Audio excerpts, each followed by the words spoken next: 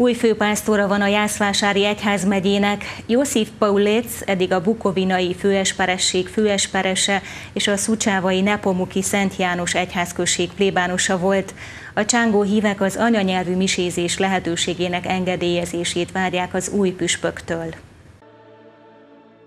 Ferenc pápa a korábbi püspök Petru Gergely nyugdíjba vonulását követően nevezte ki az új főpásztort, akinek a beiktatásán részt vettek az erdélyi és a párciumi magyar többségű egyházmegyék püspökei is.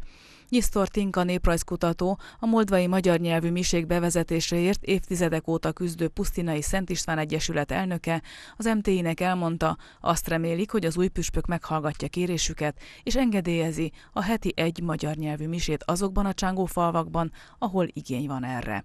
Nyisztor Tinka megjegyezte, ezzel a gondolattal vett részt a püspök beiktatásán, és ezért fog kihallgatást kérni az ősz folyamán az egyházmegye új vezetőjétől.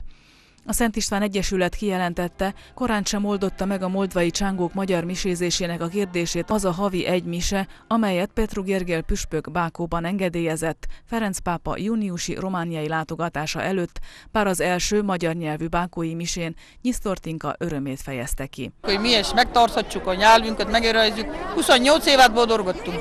Még csak Vatikánban is voltunk.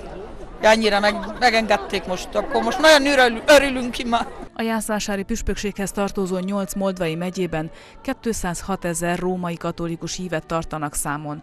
Kutatók 30-40 ezerre becsülik azoknak a moldvai katolikusoknak a számát, akik még beszélik a magyar nyelv valamely nyelvjárását. Nyisztor Tinka úgy vélte, az új püspök ugyan olyan vidékről származik, ahol a római katolikus vallásúak rég elvesztették a magyar anyanyelvüket, a papoknak egy új generációjához tartozik, ezért kedvező viszonyulásra számítanak részéről.